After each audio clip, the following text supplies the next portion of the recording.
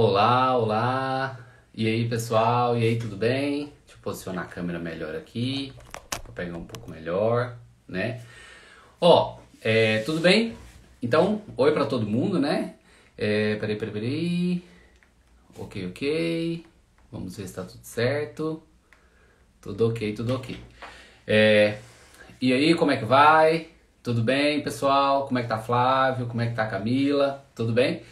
Pessoal, é, então hoje a gente vai fazer uma live bem rapidinha, né? É, que nós vamos comentar sobre um assunto que eu estava falando. Deixa eu ver se eu consigo melhorar essa luz aqui só um pouquinho. Isso. Aí.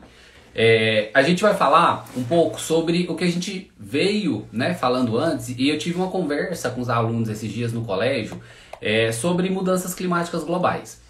Quando a gente fala sobre mudanças climáticas globais é extremamente importante, e aí eu vou tentar pegar um pouco puxando para o assunto do Enem, ou voltando mais para o Enem, né, para a gente quebrar um pouco esse, esse, esse paradigma né, de mudança climática global, que o que, que acontece?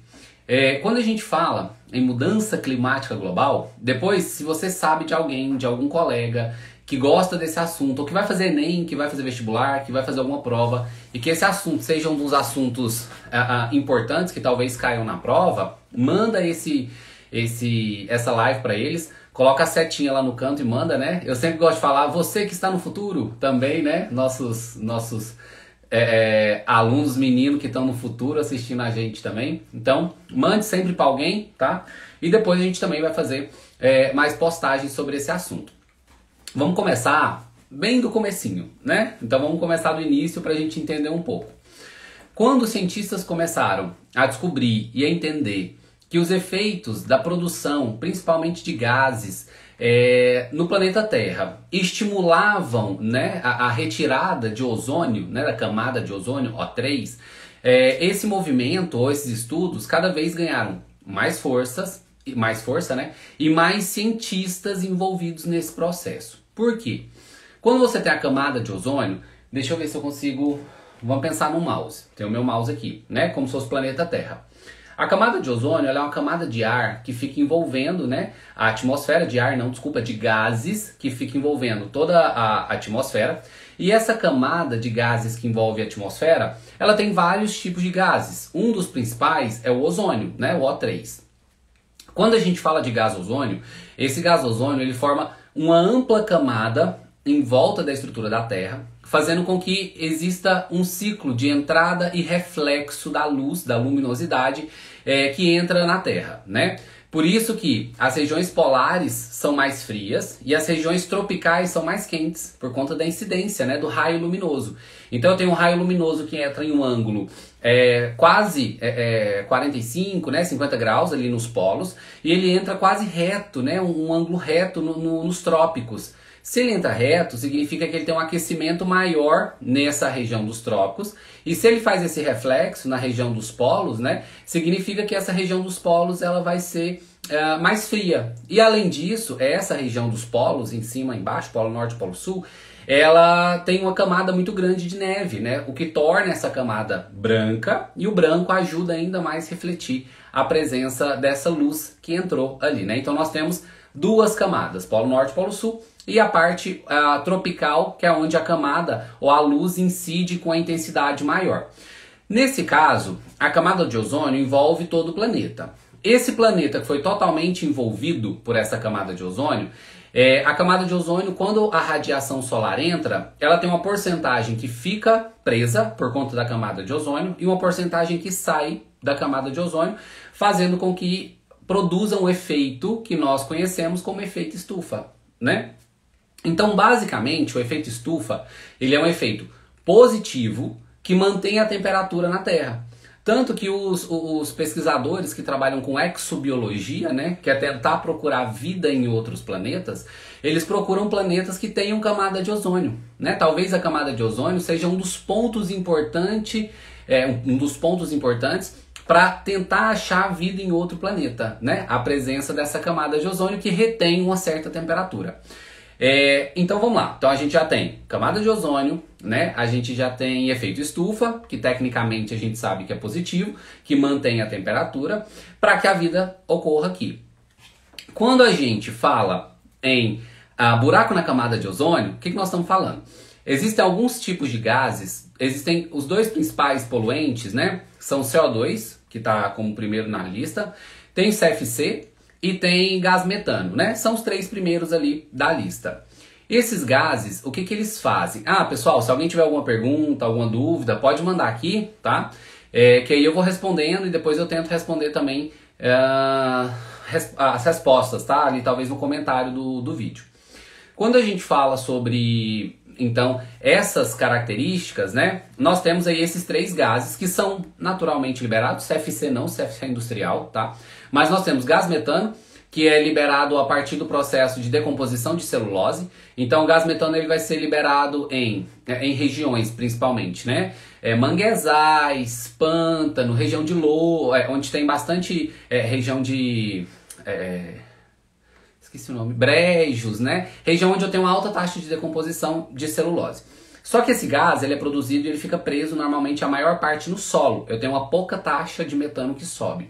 O metano ele é o CH4, lembra? Então ele vai roubar quatro moléculas de O3 de ozônio da atmosfera, né? Quando ele é produzido em alta quantidade, vai para a atmosfera e ele rouba três moléculas de ozônio.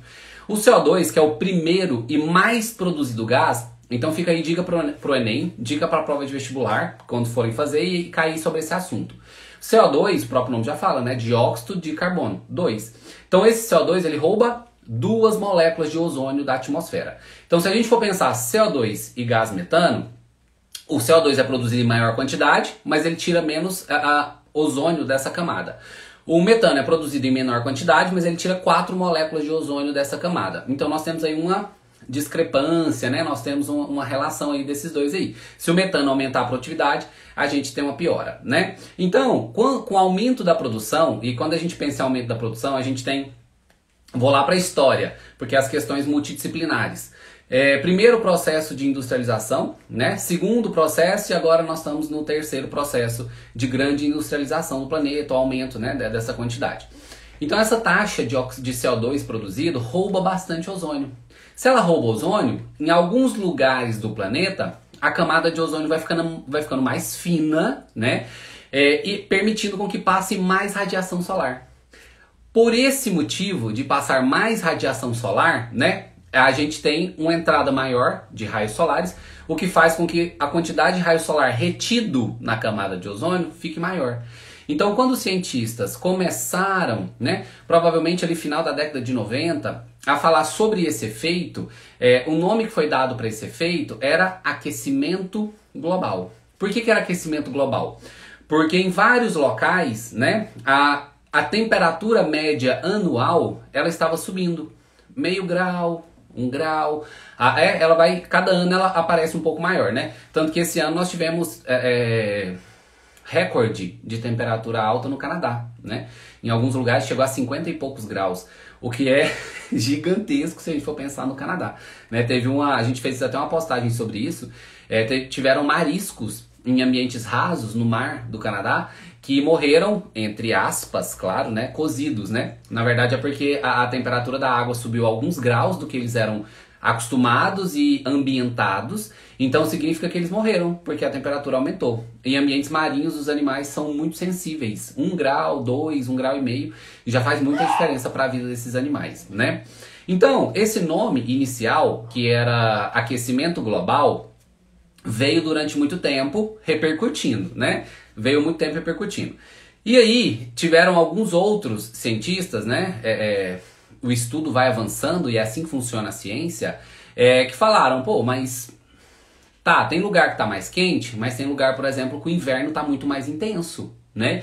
Então tem lugares, lembra do ano passado que teve uma nevasca nos Estados Unidos que o pessoal tava esperando, sei lá, 10 graus, de repente foi menos 35, que aí um monte de gente morou, morreu congelada, né, lá na, na cidade, né, nos lugares, porque veio uma nevasca assim inesperada.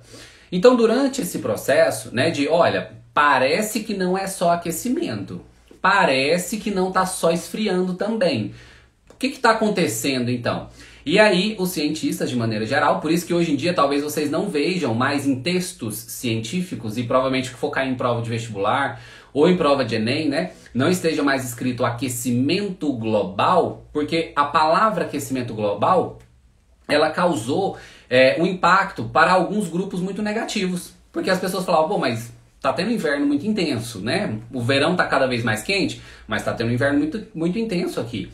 Então muda-se o nome para mudanças climáticas globais, tá? Então aquecimento global, se cair alguma coisa, por exemplo, na redação, atente-se para isso, porque talvez a expressão aquecimento global, ela tem que ser usada de uma maneira muito peculiar, tá? Por exemplo, para falar sobre médias de temperatura anual, né? Então, as temperaturas anuais estão mais altas, né? As médias estão mais altas. Então, talvez eu possa falar de aquecimento global. Mas agora, se eu falar do que está acontecendo no planeta inteiro, nós estamos falando de mudança climática global, tá? É, então agora essa é a expressão. Então se você usar mudança climática global, significa que você está mais ligado nas novidades científicas do que falar aquecimento global. Tudo bem?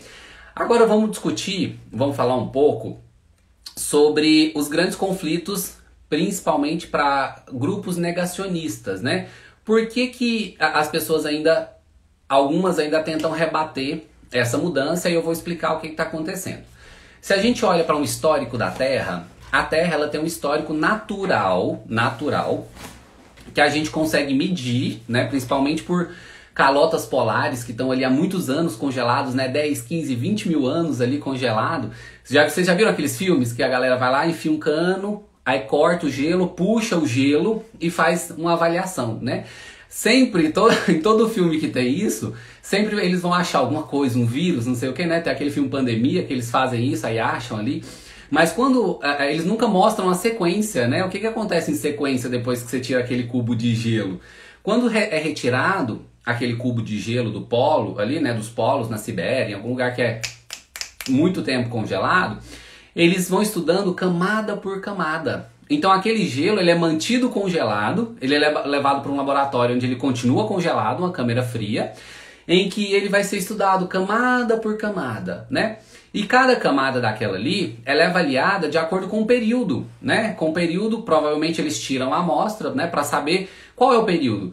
É um período de 10 mil anos? 15 mil anos? 20 mil anos? Como que é esse período, né? Pessoal, se tiver, lembrem-se, se tiver alguma pergunta, pode mandar aqui, tá? Que eu vou responder para vocês.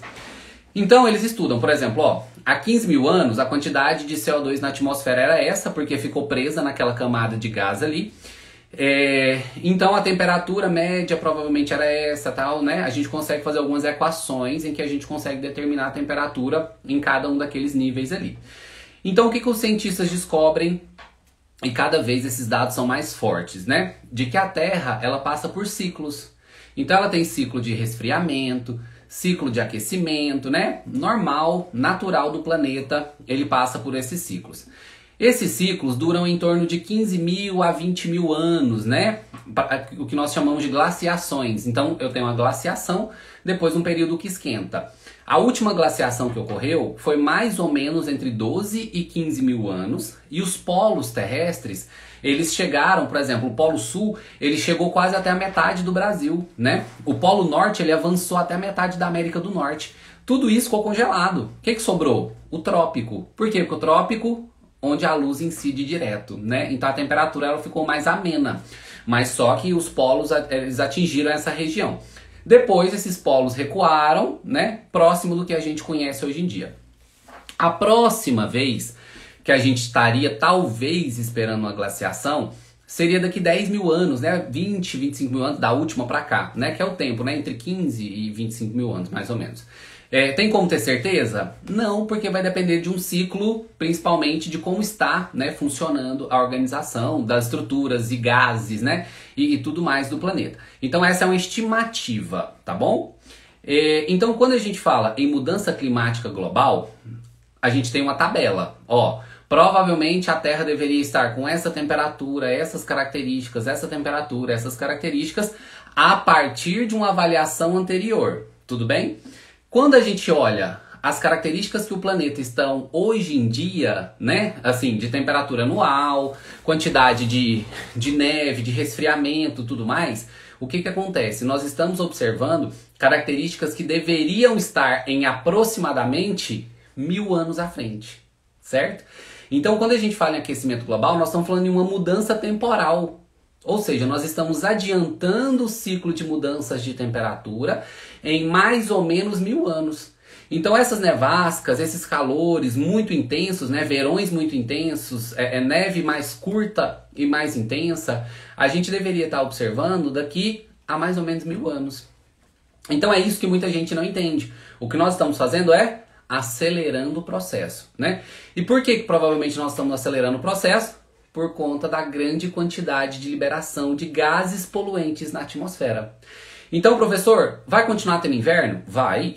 Vai continuar tendo verão? Vai. Vai continuar tendo período chuvoso? Vai. Só que o que, que nós estamos vivendo? Uma desregularização do ciclo. Entendeu por que, que eu não falo mais aquecimento global? Eu falo mudanças climáticas globais?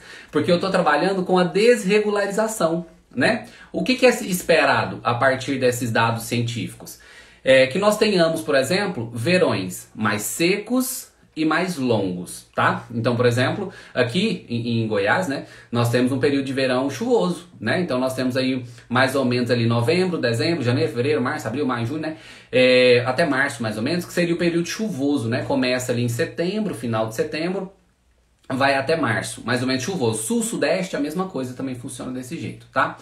É, e quando a gente fala em inverno, que seria o período, uh, o período frio, né, para algumas regiões, né, aqui no centro-oeste nem, nem é tanto, para as regiões tropicais também o inverno não é tão marcante assim, é, nós teríamos, por exemplo, um, um inverno mais curto, né, só que muitas vezes mais intenso, tá? Então a gente teria invernos mais curtos, e mais intensos, verões mais secos e mais prolongados, né? Talvez uma primavera também mais achatadinha ali no meio, né? Porque os outros aumentaram muito.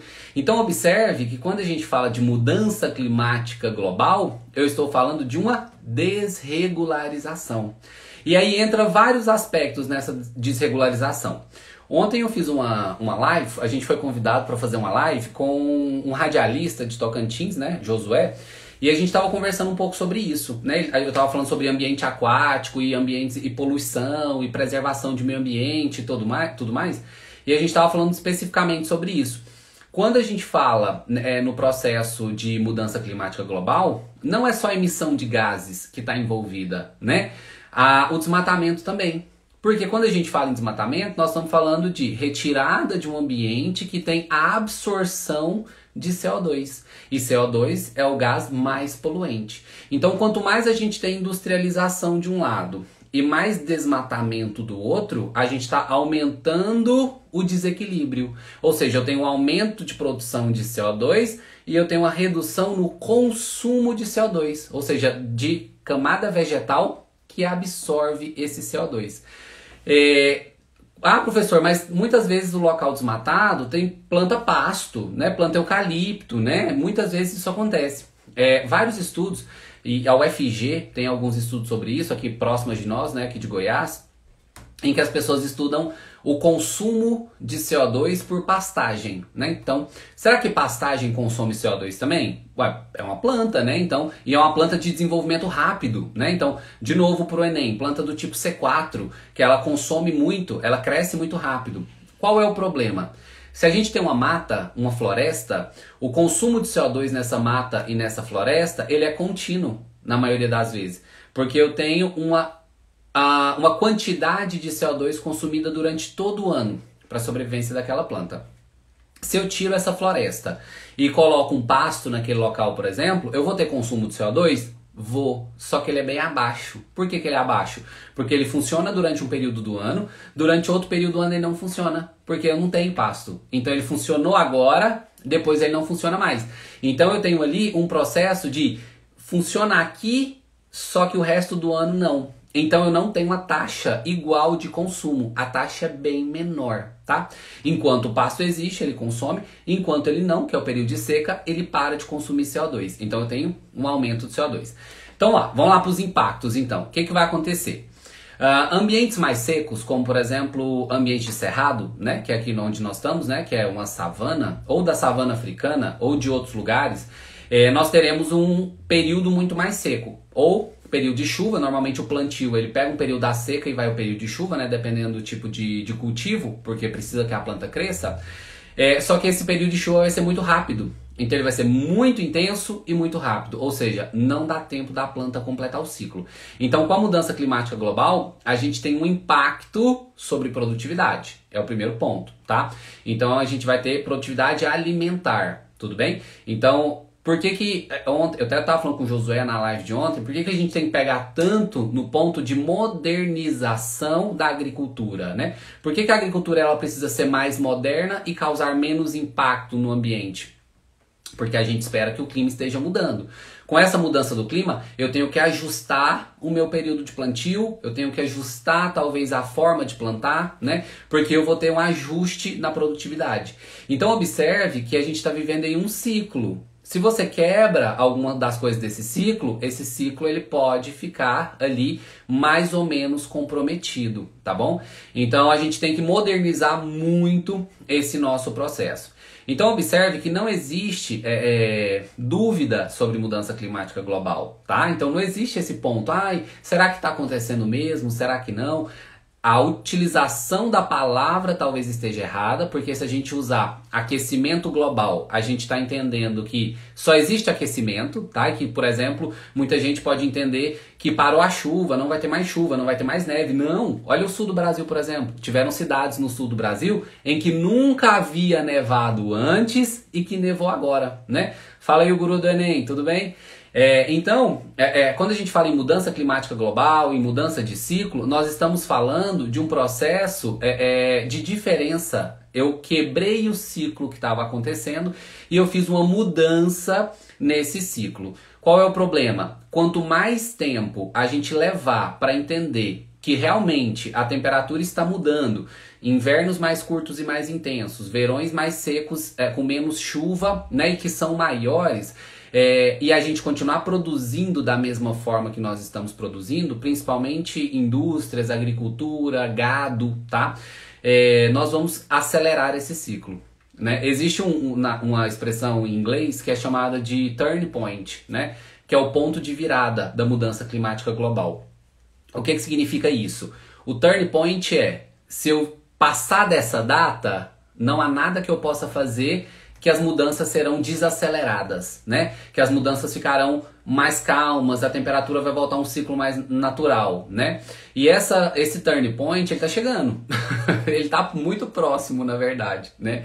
É, então, se a gente não fizer nada relacionado à poluição, produção de gases, é, criação de, de gado em altíssima quantidade, principalmente no Brasil, lembrando que o Brasil é o maior país produtor de metano do planeta, por quê? Porque o metano é produzido pelo gado, principalmente dentro do, do estômago do gado, né? Então o gado vai arrotar e vai peidar metano. Lembra que eu falei para vocês que o metano, quando ele tá lá no, por exemplo, no manguezal, quando ele tá no, no quando ele está no brejo, a, de, a, de, a, degradação da, da celulose que produz metano é, vai ficando no solo, né? E no gado não é assim que funciona. O gado peida e arrota o tempo todo. Então, quando ele come, a produção de metano é alta, porque ele vai liberar naquele momento ali, né, em que ele está comendo. Então, a gente tem uma alta produção. Então, o Brasil é considerado no mundo o Brasil com maior, é, o país com maior taxa de produção de metano, que é o terceiro gás poluente da atmosfera. Eu não sei a posição exata que ele está agora, se é terceiro ou quarto, tem que dar uma olhada nessa lista aí que ela muda anualmente, tá? É, grande trabalho para convencer acostumar até mesmo os educadores a pararem de usar a palavra aquecimento global e passar a dizer mudança climática global. Exatamente, o guru do Enem. é, é, isso que eu estou desde o começo da live falando, que aquecimento global tem que ser usado com talvez um refinamento melhor, né, quando a gente fala em médias de temperaturas anuais. E a expressão correta e científica atual é mudanças climáticas globais, né? É, então, quando a gente, quando, enquanto a gente não entender esse processo, a gente vai chegando mais próximo desse turning point. Então vai ficando mais difícil a gente falar, olha, agora, agora eu quero mudar, né? Agora eu quero mudar, agora eu, eu entendi o que está acontecendo e eu quero voltar atrás. Talvez não dê tempo, porque o ciclo é, é, o ciclo de temperaturas e vento e calor, ele vai acontecer por si só. Talvez a gente não quebre, não consiga quebrar esse ciclo, né? É, então, presença de florestas é extremamente importante. A gente deveria estar tá fazendo ao contrário, florestando em vez de desmatar, né? É, e pensando em modernização do processo da agricultura, né? Cheguei na hora que você estava citando sobre isso, é uma realidade mesmo. É, e, e assim, é uma realidade muito pesada, né? Da gente, da gente imaginar. Porque nós estamos imaginando o futuro, nós estamos pensando no futuro. Como que o futuro vai acontecer com essa mudança climática global? Ah, uma coisa que o, o guru do Enem falou aqui, e aí eu, eu quero deixar claro para vocês. Muita gente vai chegar às vezes criticando e falando assim: é, não, mas o ciclo de temperatura e aquecimento, resfriamento e aquecimento da Terra é natural, foi provado. Foi, ué. A gente acabou de falar isso, né? A Terra ela passa por ciclos de aquecimento e resfriamento natural. Isso é normal, isso é comum, já foi provado.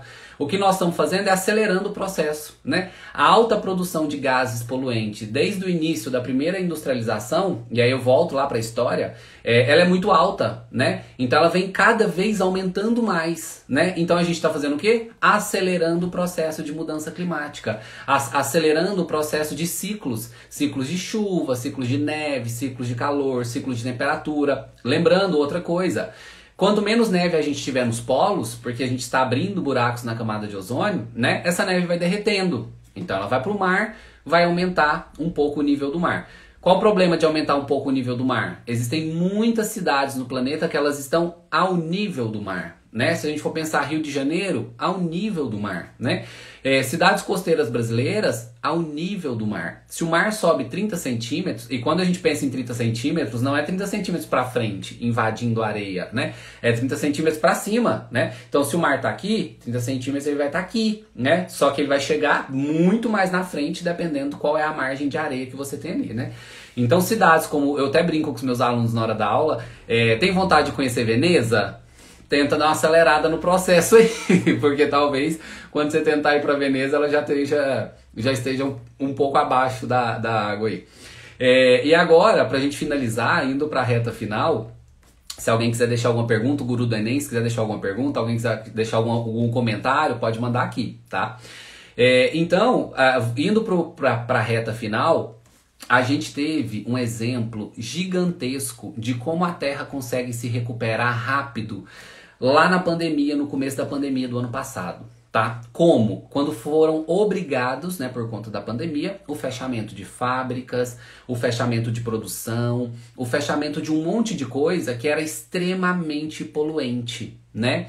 Ontem, na, na que a gente estava falando com o Josué, lá, do, lá de Tocantins, ele até citou, né, e isso apareceu em vários jornais, que com duas semanas, duas semanas que as pessoas é, é, não estavam mais presentes, os barcos não estavam mais presentes, os golfinhos começaram a, a, aparecer no litoral de Veneza, coisa que não acontecia há décadas, né? Então a ausência dos barcos fez com que os animais se aproximassem. Olha para vocês verem, eles viram golfinho nos canais de Veneza, aqueles mais profundos, eles conseguiram ver golfinho, o que não viam há décadas. Então observe como o processo de recuperação da Terra é rápido né? É, alguns países, alguns lugares, eles conseguiram ver. agora eu não lembro se foi na China se foi na Índia, até comentei isso com o Josué, deveria ter olhado. Eles conseguiram ver montanha que não viam há décadas também, porque a, poluição era tão grande que tampava a montanha. Duas semanas sem as fábricas funcionarem, eles conseguiram ver as montanhas, né? A cidade de São Paulo registrou uma queda gigantesca no número de poluente na atmosfera durante essas duas semanas, em que tudo ficou parado, os carros ficaram parados, né?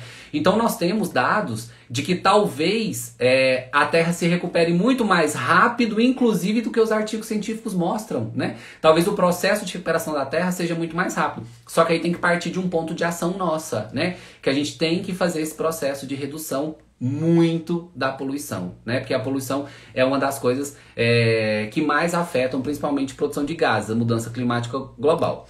E a reversão dessa triste realidade demora aproximadamente quanto tempo? Gabi, o que que acontece?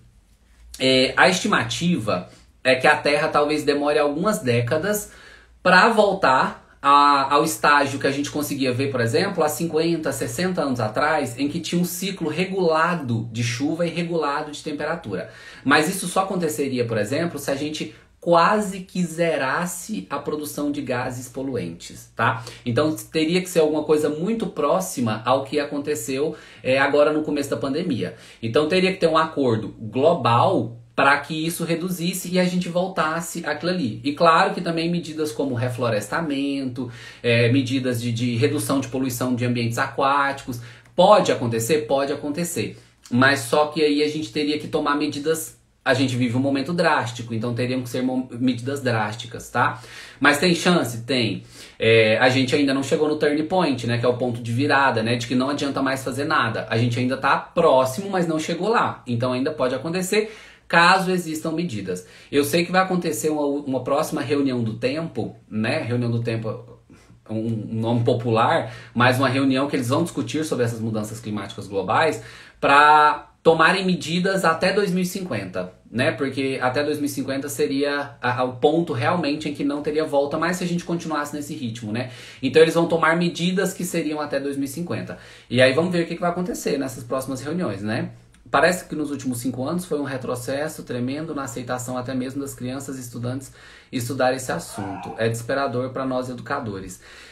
É, e aí o problema talvez seja muito isso é, que eu estava falando aqui agora, que é a confusão de termos, né? Então nós temos a confusão de termos de aquecimento global com mudança climática global. Não dá pra gente confundir esses termos. A mudança é uma coisa efetiva, né? Agora, o aquecimento, ele vai acontecer em diferentes regiões do planeta de diferentes formas.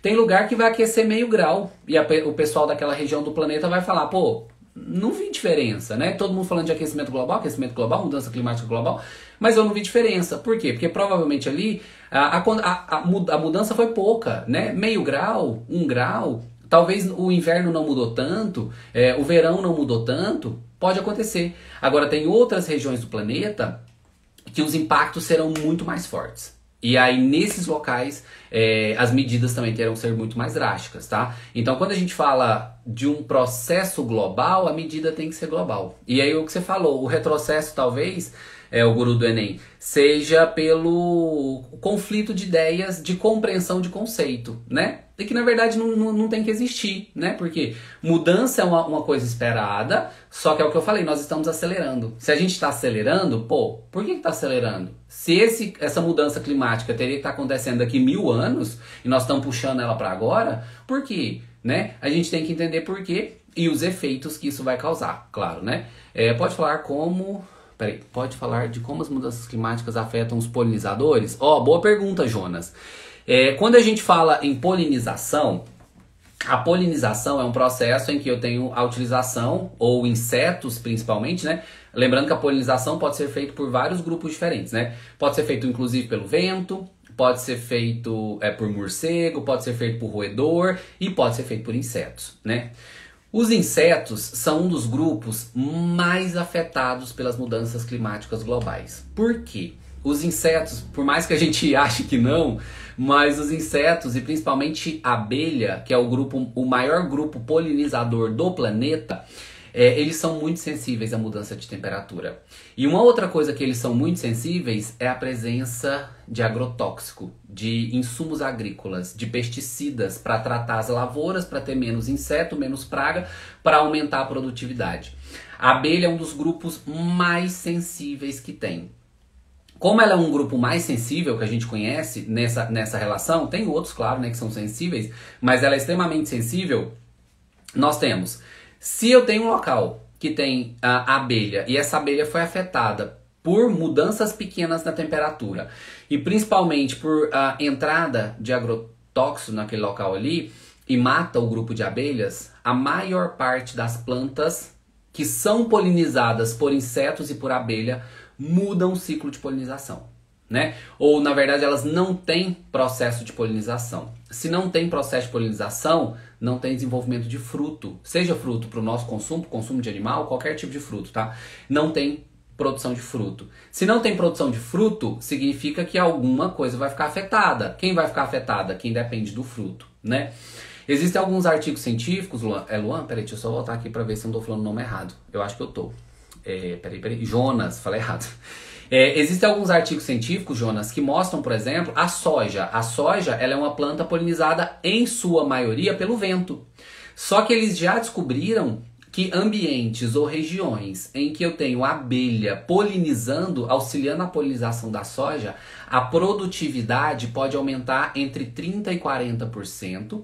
E além de aumentar, você aumenta a variabilidade genética dos próximos grãos que serão vendidos, né? Ou seja, é importante produção de soja? Pô, claro que é. A gente vai depender dela para comer óleo, é, alimento animal.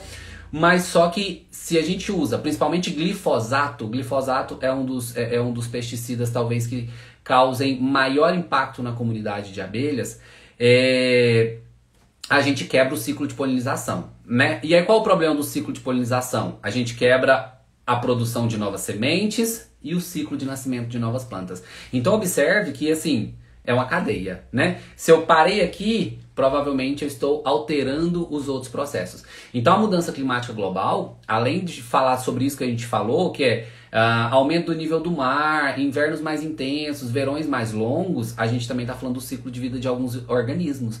E o ciclo de vida desses organismos está relacionado com o nosso ciclo de vida, porque está relacionado com nossa alimentação. Então observe, é, eu falei isso ontem na entrevista que, eu estava dando, é, que mesmo pensando, pô, eu preciso, a gente precisa arrumar algum jeito de reduzir a mudança climática global, mesmo assim, isso é um pensamento egoísta. Por quê? Eu estou pensando em um jeito de manter a Terra saudável para eu habitar nela, né? E que seja, a gente precisa tomar uma atitude para que isso mude, né? Então, voltando para o Enem, como que eles podem cobrar no Enem essas mudanças climáticas glo globais? Principalmente os efeitos, tá? Então, eles vão cobrar bastante os efeitos da mudança climática global. Aumento do nível do mar, invernos intensos, é só lembrar do Rio Grande do Sul. Cidades que nunca tinham registro de neve, agora estão fazendo registro de neve, né? É, porque é a primeira vez que nevou. Então, é, é, período de seca muito mais intenso, né? Eu ouvi uma reportagem, tava acho que indo para a escola, voltando semana passada, e um agricultor tava falando sobre o ciclo eu acho que era do milho, né? E aí o que, que ele falou? Ele falou assim que uh, o período de chuva aconteceu, né? Foi um pouco mais curto, mas não afetou tanto a produtividade do milho. Só que no final aconteceu o período de geada muito intenso né? Ou seja, esfriou muito rápido e aí começou a queimar os grãos, né? Queimar a estrutura. Então existe uma perda muito grande. Então observe que às vezes não é só a seca, não é só a falta de chuva. Eu tenho outros processos que eu vou perder aquilo ali também. Então é uma cadeia. Então, né, vamos lembrar que isso é um processo contínuo, é uma cadeia, tá? Que vai acontecer. É, vou precisar sair, mas vamos conversando no direct. Depois manda um recado lá, o Guru Depois a gente conversa lá melhor, tá? Pessoal, então agora partindo mesmo, né, pro, pro final, se alguém tiver alguma pergunta pode fazer aí. É, o que, que a gente não pode confundir? A ideia de aquecimento global já não é mais utilizada como era antes, tá? Então essa foi a expressão inicial que foi desenvolvida ali no final da década de 90 e né, início de 2000, mais ou menos, não sei o ano específico. É, e hoje em dia a gente usa a expressão mudança climática global. Por que mudança climática global? Porque a gente vai ter uma alteração de todo o ciclo. Fala Jéssica, tudo bem? E aí Paulo? A gente tem uma alteração de todo o ciclo. E essa alteração de todo o ciclo está afetando todo o desenvolvimento, seja de produção, seja de chuva e sejam de, de, de, outros grupos específicos, como a gente acabou de falar, dos insetos e o processo de polinização, tá? Pessoal, então a gente encerra por aqui hoje, tá? Espero que tenha sido uma live boa. Pessoal do futuro que estiver assistindo também, é... muito bem, Jéssica, é isso daí. é isso aí, o conteúdo sempre importante aí. É, um, um abraço. Então, é, é, pessoal do futuro que for assistir depois também, né, a live, lembrem-se disso, tá? Não vamos confundir os conceitos, não vamos confundir o processo, o ciclo natural de mudança, que é normal, mudança climática da Terra, tá? Depois a gente pode até falar sobre isso mais, tá? Inclusive eles esperam uma pequena glaciação agora em 2030, no, eu li um artigo já tem mais de um ano, depois eu vou ter que confirmar essa informação, que é uma queda na temperatura global, eles esperam para 2030 essa queda, é, mas depois que acontecer, vai voltar o ciclo normal, né, de, dessas mudanças aí de maneira geral, tá? Mas a gente pode discutir sobre isso depois. Qualquer coisa, deixa o um comentário aqui no vídeo, eu vou responder o mais rápido possível e a gente vai se falando, tá? Pessoal, um grande abraço, um grande beijo. É, quem chegou depois, o vídeo vai ficar salvo no IGTV, tá? Para vocês assistirem depois. E esses conceitos são muito importantes para quem vai fazer alguma prova de concurso, prova do Enem e para ganhar conhecimento também, né? Para conversas e discussões aí, tá bom? Então, um grande, um grande beijo, um grande abraço, até mais. Tchau, tchau. Se cuidem. Abraços. Boa semana.